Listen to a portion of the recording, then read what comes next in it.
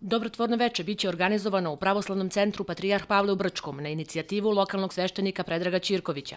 Svi koji odluče da daju svoj doprinos biće u prilici da uživaju u kulturno-umjetničkom programu u kome će uglavnom učestvovati udruženje i učenici iz Brčkog. U programu će da učestvuje Vizantijski hor iz Brčkog, e, Guslar, e, Ognjen Okilj, e, nekoliko naše djece osnovnoškolskog uzrasta koji pripremaju dramsko-recitatorski program, Biće pripremljeni e, kraći dokumentarni film, film o stradanju e, manastira na Kosovu i o istorijskom opšte ovaj, nastajanju toga manastira.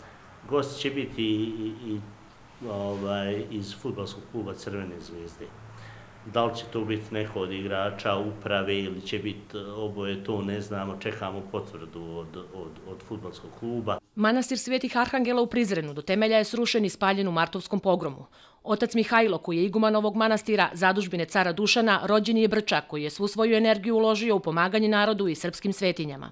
Na ideju smo došli kada su članovi našeg udruženja bili na kosmetu posjet manastiru Visoki Dečani i Pećkoj patrijaršiji.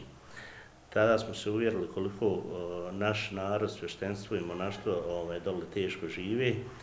Smatrali smo da naše malo njima znači puno. Prodaja ulaznica za dobrotvorno veče koje će se održati 27. februara od 18 časova počinje 12. februara u Udruženju navijača Crvena zvezda po cijeni od 10 maraka.